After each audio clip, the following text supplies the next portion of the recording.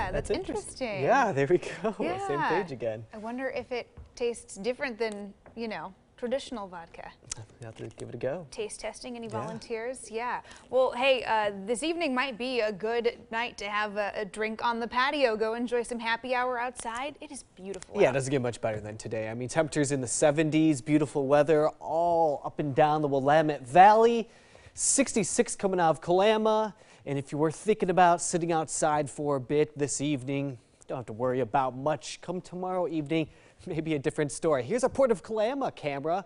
Uh, this is out of the McMenamins Kalama Harbor Lodge there. 66 degrees, the northwest breeze at 7 miles per hour. It just looks like a great place to be sitting and enjoying the view. And how about this? The Dalles at 72 out of our Point S camera here. Love that you can see the river kind of cutting through the hills. This is just a beautiful view. Uh, east northeast breeze around 6 miles per hour should bring in more sunshine for you folks tomorrow before our next system, which is just to the north of us. Eventually, this cold front's going to come lowering down like a curtain and eventually reach us as we go into tomorrow night. For the meantime, enjoy your Sunday night.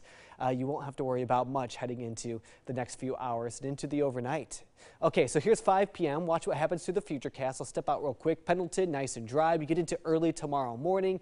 Astoria, maybe seeing some light rain showers and some clouds, but if you're down towards Newport, Central Oregon, coast to the south, you're likely going to still have some sunshine. So this system, again, as I mentioned, is going to move in from the north. So those to the south will have a nice sunny day tomorrow. And if you're further to the north, especially areas of Washington, likely the clouds arrive pretty early for you. But it will take some time for it all to kind of move down to the south. By the time we reach probably somewhere around 8 to 9 p.m. tomorrow night. I think it's fair game for some rain moving in as well. Here's 11 p.m. Notice that it's already kind of stretching across the state for the exception of some of those locations there off to the east. Newport, though, you'll probably see some rain there, and that goes for Portland down towards Salem.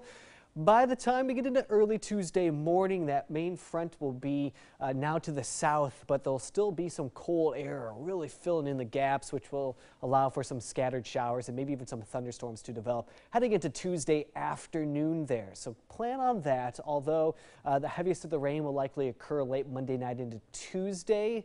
As far as steady rain goes, you'll probably be sleeping, uh, but we'll keep it in the forecast Tuesday afternoon. Wednesday, we're nice and dry and we're not worrying about much, but boy, do we take a hit for our temperatures. Today, lower 70s tomorrow, still fairly warm before that cold front arrives, but once it does, yeah, what's right behind it, that cool air, and our temperatures take a pretty big hit, down to the mid 50s by Tuesday, Wednesday at 58, Thursday 61, and 64 degrees on Friday.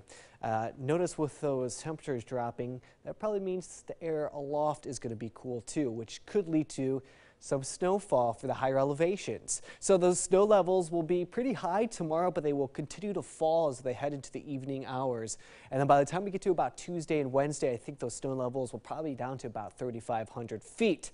Um, although most of the moisture will be, be uh, will be kind of drying up at that point, still a chance for some snowfall, especially Tuesday night into Wednesday down to about past level. Um, okay, so temperatures tomorrow in the mid 60s to upper 60s. Nice day. Call a chance for some showers though in the evening. I think that would be after your commute. With that, yeah, uh, we usually see our October temperatures take a significant hit as we go through the month. The beginning of the month, we usually start about 70. The end of the month, the upper 50s. We'll be right in between that uh, for tomorrow. Zone planner 60 for the coast with some rain.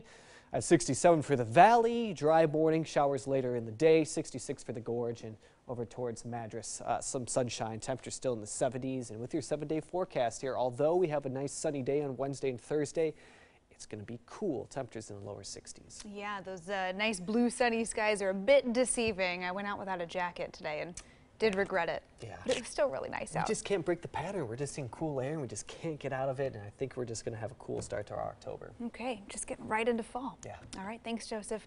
Coming up next.